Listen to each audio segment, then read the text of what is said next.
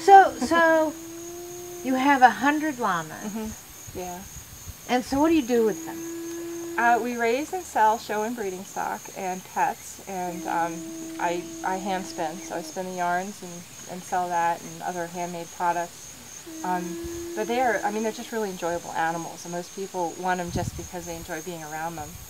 So, uh, you know, regardless of the purpose that you use your llama, um, they're all pets. You actually I don't know, I can't anymore. It's gotten bigger. There you go. Wow. oh, isn't that sweet? That's sweet potato pie. We call her sweet pea. I love these faces. Everybody's different. They're Yeah. very individual, very unique, if you can put a degree to uniqueness. Hello, boys. How are ya? they, they're neat animals. They're actually clean animals. They use communal dung piles, so you'll find Yeah. areas in which they all use it. And, um, we have What's litter that boxes. noise? He's humming. They hum. Yeah. Trigger, say it again. He says no. That's her. They Are you humming to us, baby?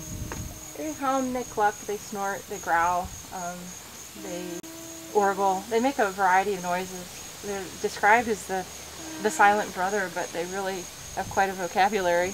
But usually anytime an animal is either um, mistreated, bottle fed, or spent a lot of time in a public yeah, public situation, they get really pushy or they get really um, angry quickly. Uh, bottle fed animals imprint on people, so by the time they get to be full grown, they're going to treat you like another llama. And they'll, they'll push each other around. You know, they, they won't always be so gentle with each other, but they are um, incredibly gentle natured animals. very curious, as you can see, very intelligent.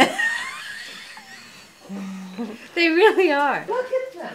Aren't they funny? Oh, even my friend is leaving. Well, I have the back pasture open, so they're um, that's where they're heading.